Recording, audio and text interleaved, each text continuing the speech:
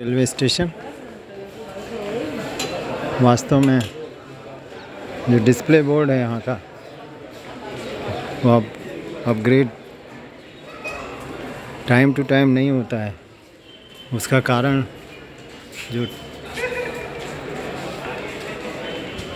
Ticket inspector कमरे में जो सज्जन बैठे हुए, उन्होंने बताया कि यहाँ सिस्टम ही नहीं है। हमें डेस्कटॉप नहीं है। जिससे कि अपडेशन का काम हो सके।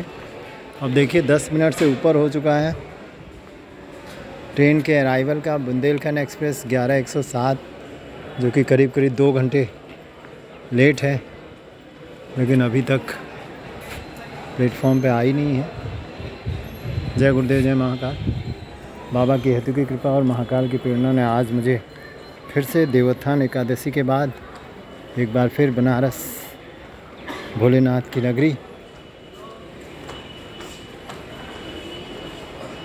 में जाने का मौका दिया। आज बहुत ख़ास दिन रंग भरी एकादशी, जो कि कहते हैं कि आज ही के दिन भोले बाबा माता पार्वती को लेने ससुराल गए थे और वहाँ खुशी में अबीर गुलाल और रंग खेला गया था। और इसीलिए ब्रज में, जबकि होली रंग खेलने की शुरुआत होलाष्टक से हो जाती है, लेकिन काशी में इसकी शुरुआत रंग भरी एकादशी, जो कि आज ही है।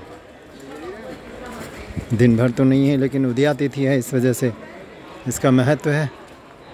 तो आज फिर से मुझे गंगा दर्शन बनारस में करने का सौभाग्य मिल ही चुका है, देखते हैं।